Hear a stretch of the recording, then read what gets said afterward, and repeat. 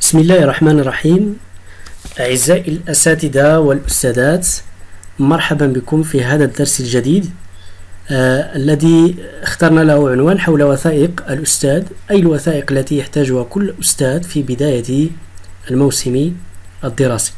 إذا كما تعلمون بأن الأستاذ حينما يلتحق بالمؤسسة وبعد توقيعه لمحضر الدخول يحتاج بطبيعة الحال إلى مجموعة من الوثائق آه، يضعها في ملفه الشخصي من أجل توثيق آه، مجموعة من العمليات التربوية في بداية السنة. إذا سنتعرف بطبيعة الحال على هذه الوثائق ثم آه، ستجدون بطبيعة الحال أسفل الفيديو رابط تحميل هذه الوثائق التربوية هي قابلة للتعديل والتحيين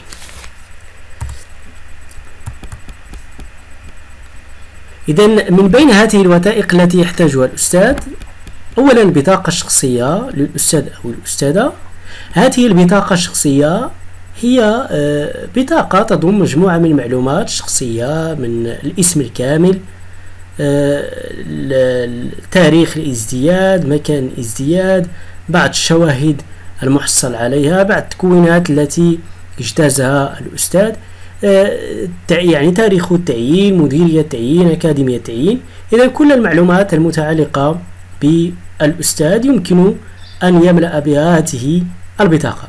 ثم من بين الوثائق الأخرى التي يمكن أن يحتاجها الأستاذ وهي وثيقة إحصائية للتلاميذ بطبيعة الحال. هذه الوثيقة تضم مجموعة من الإحصائيات. تلاميذ يعني نجد فيها مثلا عدد التلاميذ الذكور عدد التلاميذ الإناث عدد التلاميذ الجدد عدد التلاميذ المكررين آه ثم آه ممكن أن يضيف الأستاذ أيضا وثيقة أخرى تتعلق بالحالة الاجتماعية للتلاميذ. مثلا أستاذ آه عفوا تلميذ آه، له ظروف أو البعد بعده عن المؤسسة إذا هنا الأستاذ يتعرف بطبيعة الحال على تلامذته من خلال هذه الاستمارة وهذه الوثائق.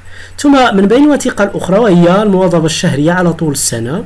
إذا هذه الوثيقة يدون فيها الأستاذ نسبة الحضور الشهري الجانب الاجتماعي والنفسي للمتعلم يعني الطريقة ديال المتعلم الطريقة آه، اللي يدون فيها مثلا متعلم في بداية السنة. ثم هل يعني تغير آه، بعض المشاكل التي يتعرض لها المتعلم؟ إذا جميع هذه الوثائق تساعد الأستاذ في دراسة حالة التلاميذ.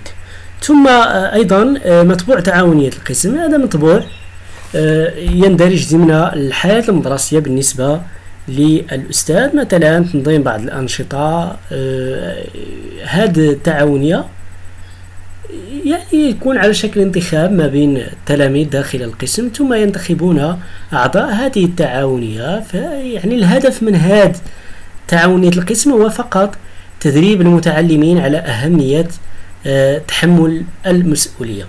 ثم من بين الوثائق أيضا التي سيحتاجها الأستاذ وهي النظام الداخلي للقسم. يعني هذا النظام داخل القسم فهو ضروري جدا في آه، ضبط القسم هذا النظام داخل القسم يطرحه الأستاذ في بداية السنة على المتعلمين من أجل آه، ضبط القسم ومن أجل أن يحترم أن يدرب المتعلمين على احترام فضاء القسم واحترام الأستاذ واحترام زملائهم.